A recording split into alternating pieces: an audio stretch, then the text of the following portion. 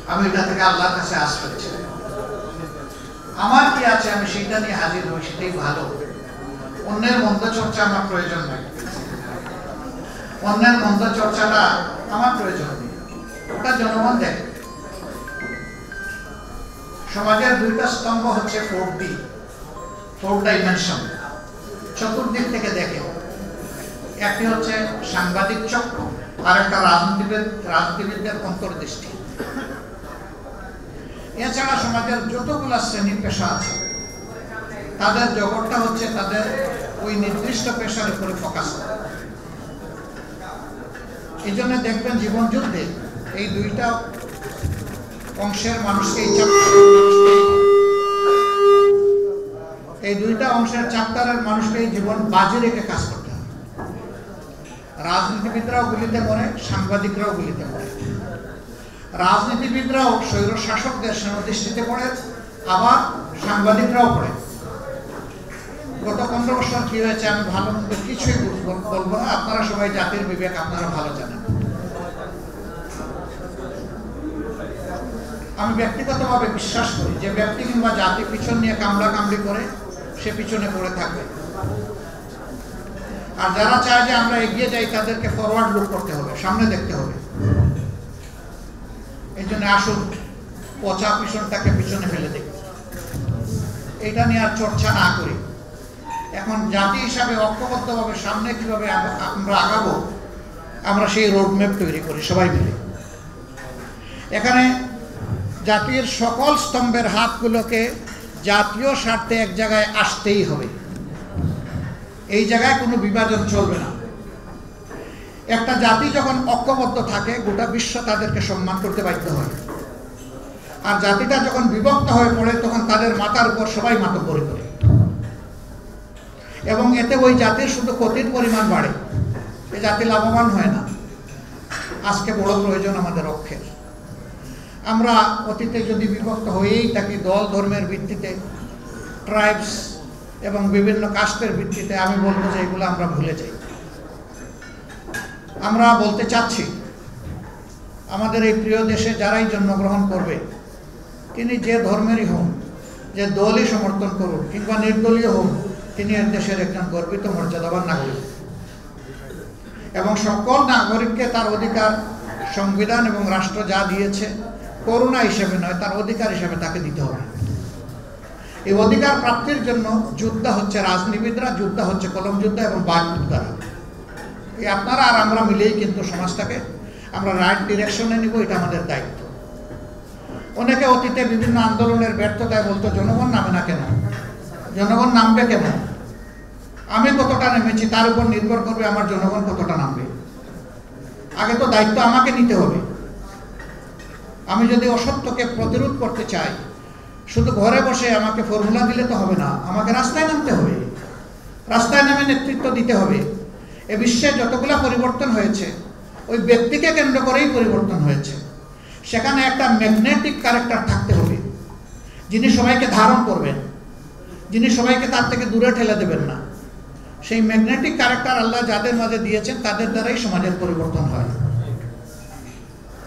আমরা এমন ব্যক্তি আল্লাহর কাছে চাই, তিনি যেন সেরকম ক্যারেক্টার উদার, বিশাল মনের মানুষ যিনি সারা বাংলাদেশের প্রত্যেকটি ইন্ডিভিজুয়ালকে তার অন্তরে শ্রদ্ধার সাথে ধারণ করবেন, এমন মানুষ আমাদের বড় প্রয়োজন আল্লাহ যেন সেটা দিয়ে আমাদেরকে সাহায্য করে সাংবাদিক ভাই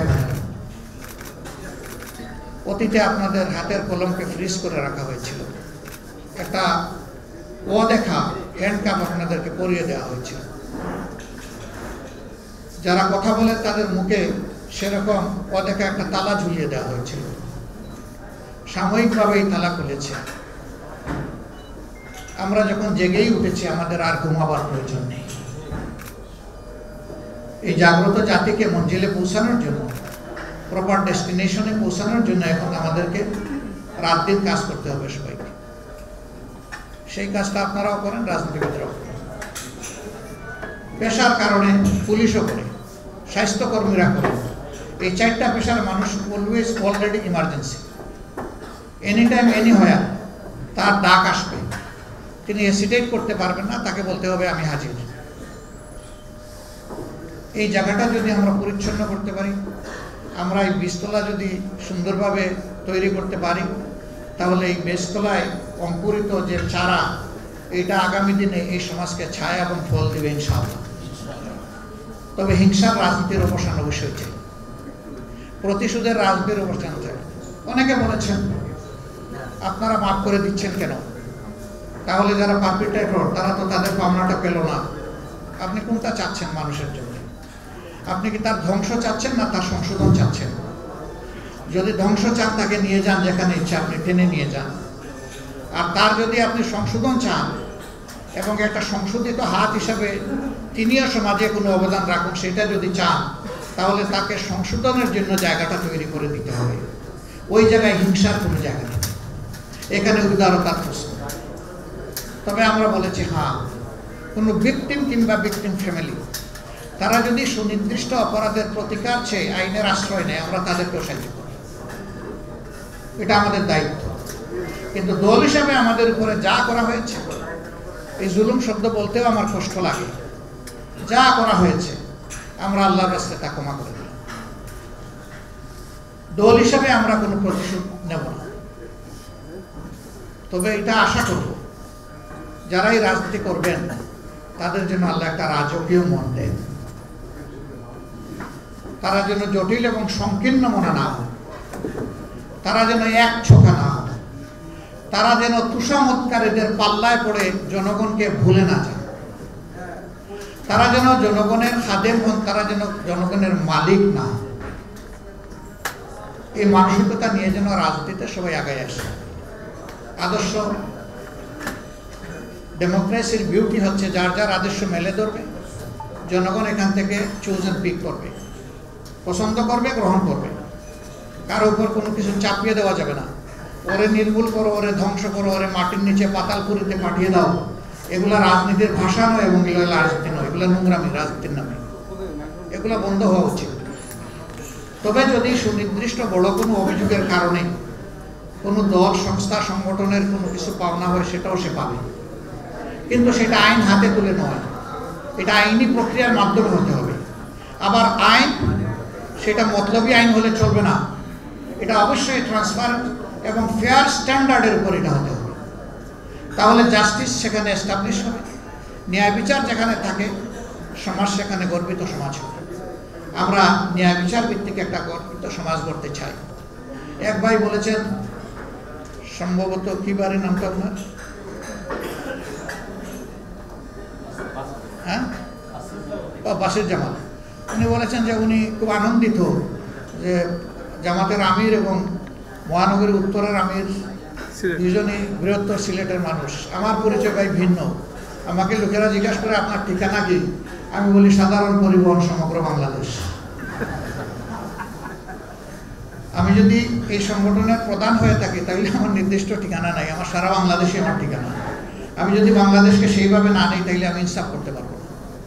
আমার দলের উপরে পারব না, আমি দেশবাসীর উপরে পারব না। আমি এই ঠিকানায় থাকতে চাই, এটাই আমার জন্য কমফোর্টেবল আপনারা দোয়া করবেন। তা আজকে অনেক কথা হয়তো বা বলব না। আমি শুধু অন্তর থেকে ধন্যবাদ জানাব যে আপনারা আমাদেরকে ভালোবেসে আমাদের দুটি কথা শোনার জন্য আপনারা এসেছেন এখানে। আমি আপনাদের কাছে কৃতজ্ঞ, আমার দল কৃতজ্ঞ। আর আমি এসেছি মূলত আপনাদের কথা শোনার জন্য। যা আমি শুনেছি, এখান থেকে আমি যেন শিক্ষা নিতে পারি। আমার এই বোনটি বলেছেন যে, একটু আপনাদেরকে মেলে ধরুন, আপনারা কি চান? এই জাতিকে কোন ডেস্টিনেশনে আপনারা পৌঁছাতে চান? ইনশাল্লাহ আপনারা পাচ্ছেন এবং আরও পাবেন। আমি শুধু এতটুকু বলব যে, শুধু আমাদেরকে নয়, যারা এই দেশে রাজনীতি করবেন, তাদের সকলকে আপনারা খোলা মনে দেখবেন। খোলা মনে দেখলেই আপনারা সাদাকে সাদা হিসাবে পেয়ে যাবেন, কালোকে কালো হিসাবে পেয়ে যাবেন। অনেকে আমাদের নিয়ত নিয়ে প্রশ্ন তুলে, আমি হাসি। নিয়ত অন্তরের ব্যাপারও দেখে কেমনি? সে তো আমার পারফরমেন্স দেখবে। আমার পারফরমেন্স দেখে আমাকে সে বিচার করবে। আমরা বাংলায় একটা প্রবাদ জানি, বৃক্ষ তোমার পরিচয় কি? বৃক্ষ জবাব দিচ্ছে ফলে আমার পরিচয়। তো ফলটা আমি দেখব। সে যেই হোক, যে দল হোক, ব্যক্তি হোক, নির্দলীয় হোক, কি হুয়েভার মেবি আমি তাকে সেইভাবেই তার ফল দিয়ে, কাজের ফলাফল দিয়ে বিবেচনা করব।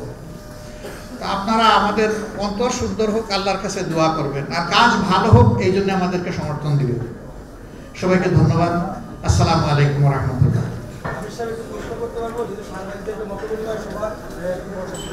আমি মত শুনেছি, বিনিময়টা আরেকদিন হবে, ইনশাআল্লাহ।